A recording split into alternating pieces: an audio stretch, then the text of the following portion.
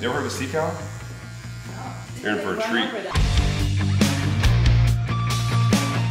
Dad, that's why I want you to do donuts in your truck. I'll go outside the fence and do donuts in the truck. I paved this road. I don't want it to tear up. Look at the dolphins. That's so crazy right there. I know, they're together, both of them, the whole time.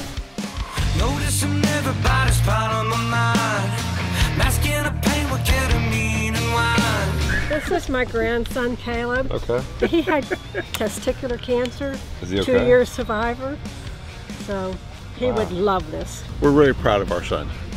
There's no question. He's one in a million. A couple times a year, this area is a little bit shallow. They have 20, 30, 40 manatees come back here and they have a freaking orgy. Sex everywhere. Make a mess of it. What's your favorite memory about a manatee? That time in the backyard, when I jumped on him, I stood on for almost nine and a half seconds before I got thrown off. That was the coolest thing I've ever done in my entire life. My dad was a championship manatee rider back in high school. They only do it in Florida.